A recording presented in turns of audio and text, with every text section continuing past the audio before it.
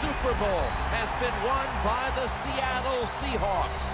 The Lombardi Trophy is headed to the Great Northwest.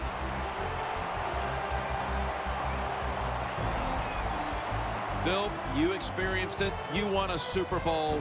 I'm looking down at the field, seeing all those players. I can only imagine what it's like. It doesn't even seem real. That's what it is. You just, uh, when you go to work each training camp, you think, okay, it's all going to fall away and we're going to get it done.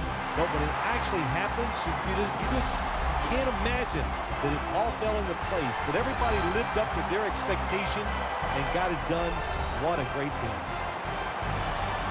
And there holding the Lombardi Trophy triumphantly. What a season it's been for them, and no better way to top it off than with a Super Bowl victory. Truly a special moment. For Phil Simms and all the crew, I'm Jim Nantz. Stay tuned for the post-game wrap-up show, and we'll see you next year here on EA Sports.